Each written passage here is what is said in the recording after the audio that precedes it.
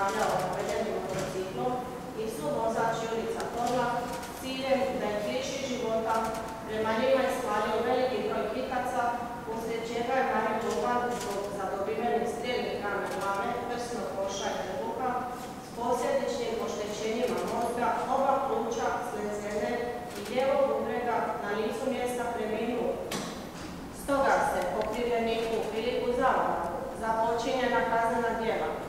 prethodno utvrđuju kazne zatvora za svako pojedino kazneno djelo. Kazna zatvora u trajanju od 15 godina.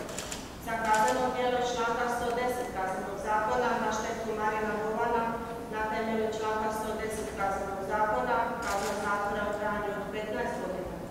Za kazneno djelo iz članka 110 kaznenog zakona na temelju sto- članka 110 kaznenog zakona na štetu Marina Užića Pajića kazna zatvora u trajanju od 15 godina. Utvrđuje se da je presudom Županijskog suda u Splitu osnovnog broja K 31 kroz 2020 crtica 127 stavcima prvim i drugim kaznenog zakona osuđuje na jedinstvenu kaznu zatvora u trajanju od 40 godina.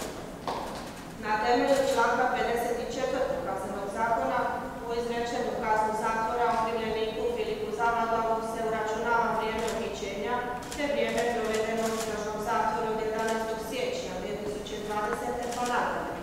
kaznenog postupka iz članka 145 stavka 2. točka 1. do 6. Zakona o kaznenom postupku te isti padaju na teret proračunskih sredstava suda.